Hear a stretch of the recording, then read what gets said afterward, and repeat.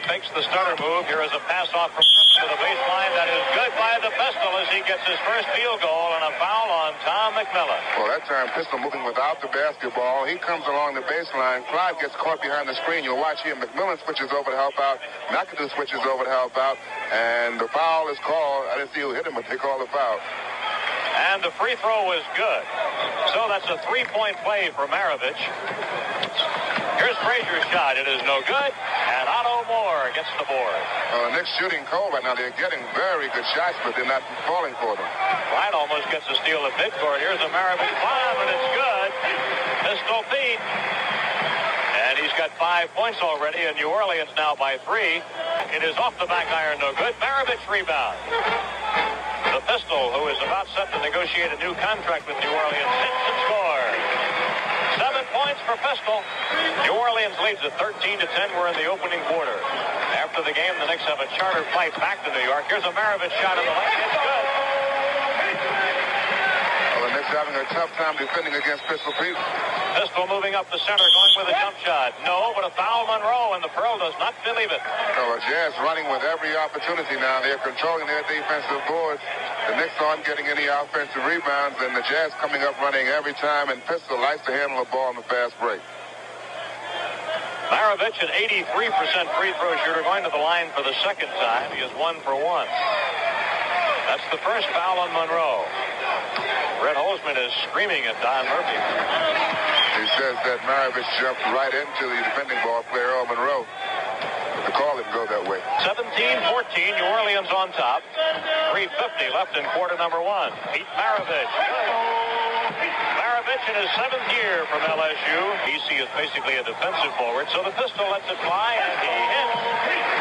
No shot is too long for Maravich. Earlier this year, we had a shootout between Maravich and Monroe in a game at the Garden. First time the Jazz was in. Oh, there's a foul on Beard. Pistol Pete really played, pushed like a fiddle that time. He was moving very well to get his shot off that time. And we've got a timeout at the Superdome with 143 left in the first quarter. The score, the Jazz 25 and the Knicks 23.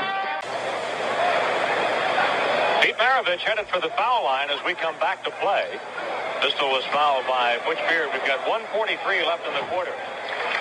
Would you believe his 16th point of this period? Well, that's really something. 17 of 27 for Pistol Pete. It's 35-28. The Pistol had that one pop out. A head fake and a foul. Lonnie Shelton draws his first personal of the night. And Maravich to the foul line. Was his 18th point. Nobody in this ball game has missed a free throw yet. Maravich. Boy, he's got all kinds of moves. What move doesn't this guy have, Cal? Oh, he can do it all. And an inbound steal for the Jazz. Everything is going wrong. Pistol fires. Oh, come on, come on. That's ridiculous. Here's They got it to the guy they want. Pistol in and out of the lane. Here's shot. Good. A 21-point lead, 49 to 28. 13 points for McAdoo. Now Knicks have given Dean Meminger the chance to trying to contain Pete Maravich. Nobody else has been able to do anything with him so far.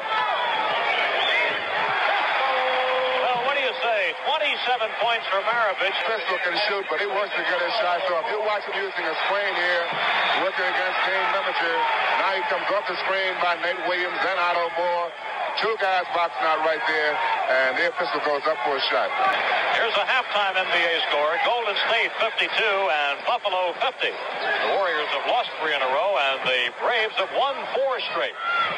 Joe Mullaney doing a fine job in Buffalo. Maravich with a incredible, absolutely incredible 29 points. Everything go wrong. This is not the largest deficit the Knicks have faced this year. Back on January 11th in the third quarter at Portland, they were down by 34. But it's approaching that as Maravich guns one up. Maravich still working for shots. And he gets the shot. Oh, what an incredible shot. A foul will be called on McAdoo, and he almost got the field goal. Yeah, he can do no wrong tonight. Earl was on him. He put a good move on Monroe to get him off balance. McAdoo came over to help out. You'll watch on the replay now. He puts the fake on Earl. Earl goes past. McAdoo comes to help out. He gets them both up in the air, and he gets the contact there as he goes up for a shot. Pistol has missed his first free throw. He is now 11 of 12 at the line.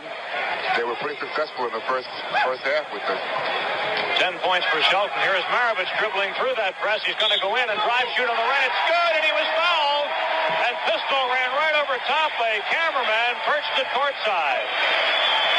Boy, he I, he looks like he wants that new career high tonight.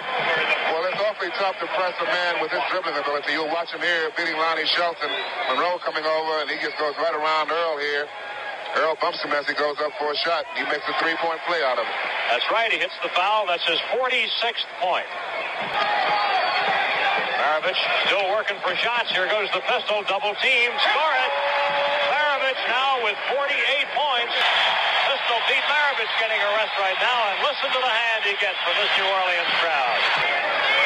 You watch uh, Maravich here making a move against Butch Beard. Comes between his legs. Then he gets a little screen there. Comes around. McAdoo comes to help. Earl comes to help. But to no avail. Knicks have cut the uh, margin in half. The Jazz once led it by uh, 33. Well, there's Maravich hitting his 50th point. A jumper by the pistol. A career high for Maravich. 52 points. Maravich with a new career mark.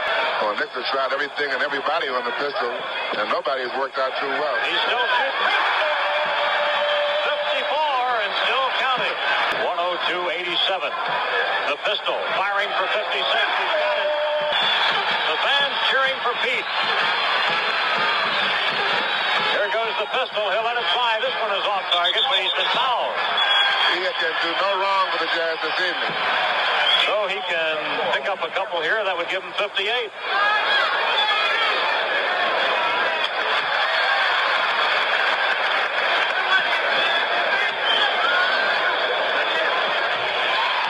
He makes them both, so the pistol with 58 and the Jazz on top 106-87.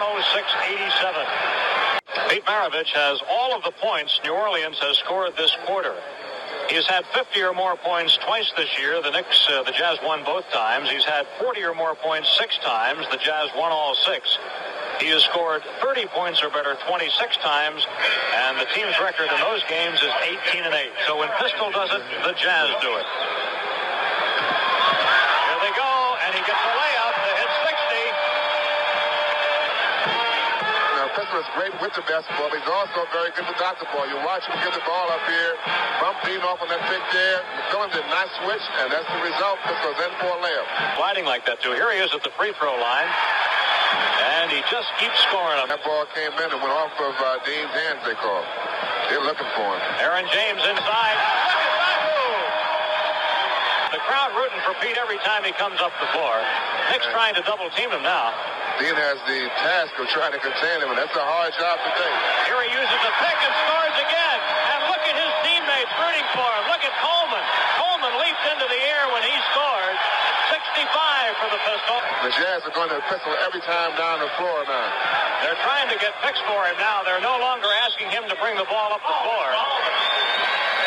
Here's a foul. Dean Meminger. And free throws coming for Maravich. Well, this is some night. We've got 248 left, and he does indeed have a chance to get into the 70s. Playing for the first time tonight, number 11, Ron Behagen, into the ball game. He replaces Coleman. When Ron came in the game, he came in to congratulate him.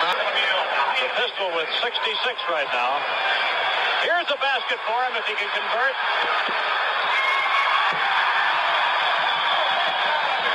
68 for Maravich. And a steal. Look at him fight for this ball. The doing it all. A great ball game. Traveling. And the crowd is going wild here at the Superdome.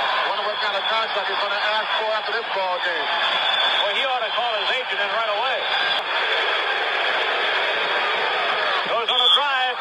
He's out of the ball game. They called him with an offensive foul, and that will foul him out of the ball game with 118 to go. Listen to the hand he gets with 68 points.